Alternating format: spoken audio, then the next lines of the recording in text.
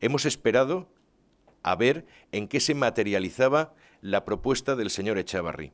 Hemos esperado hasta que ha quedado claro, y ayer con sus declaraciones lo dejó nítido, que no tiene ninguna intención de llegar a ningún acuerdo con nadie. Quien, antes siquiera de iniciar esas negociaciones y aun habiendo puesto condiciones, se dedica a reventar la posibilidad de que se pueda llegar a ningún acuerdo, no tiene ninguna intención de que las cosas cambien.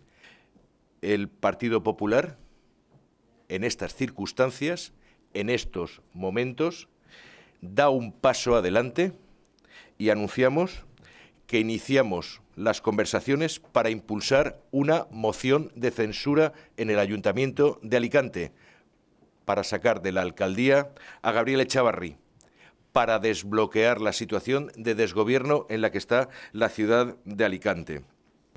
El Partido Popular, por tanto, ha elaborado un documento, un documento que es el que aquí les exhibo,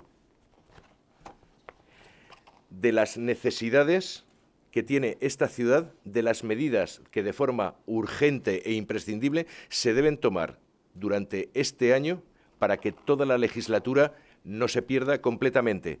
Tenemos un último año de legislatura y Alicante no se puede permitir el lujo de desaprovecharla.